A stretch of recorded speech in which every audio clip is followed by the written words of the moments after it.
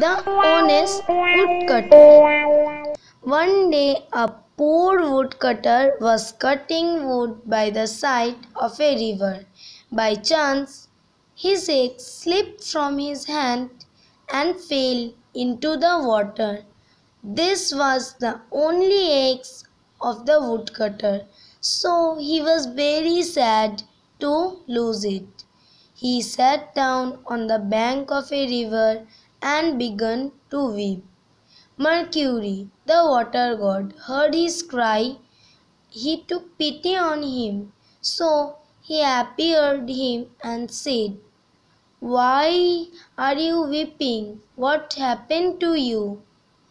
I have lost my only axe, replied the woodcutter.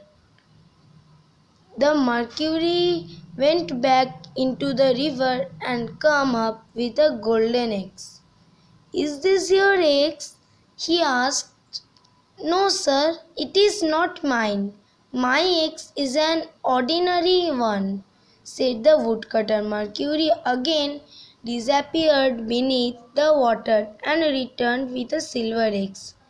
This time also the woodcutter said, No, sir, this is not mine.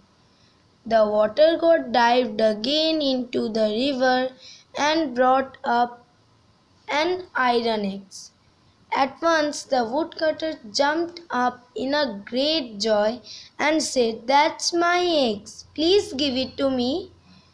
Mercury was highly pleased with the poor man's honesty.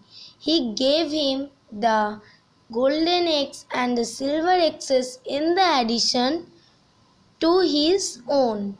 The woodcutter took all the three axes and went home joyfully. So, the moral of this story is the honesty